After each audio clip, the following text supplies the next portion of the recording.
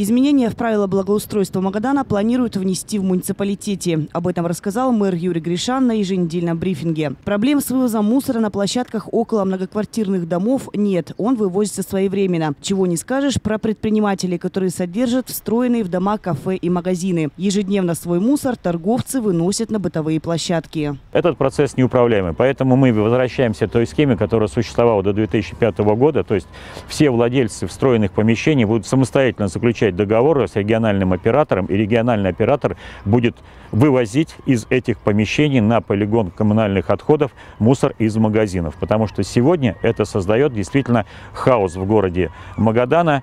Э, в городе Магадане. И э, контейнерные площадки для магазинов мы не обязаны сегодня делать. Мы не обязаны приобретать для них контейнерные баки. Это отдельные э, полномочия самих владельцев нежилых помещений, расположенных в многоквартирных домах. Этот вопрос вынесут на обсуждение в областной общественной палате, после чего проведут публичные слушания, на которых магаданцы смогут высказать свое мнение. Изменения в правила благоустройства планируют внести в октябре этого года.